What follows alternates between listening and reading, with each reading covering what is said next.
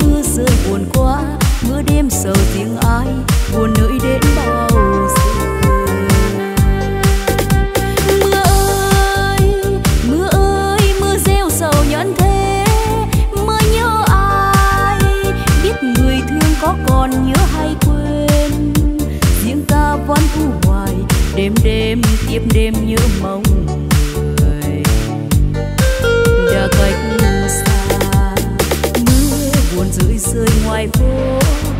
Nghe như tiếng nhạc buồn chiến mỹ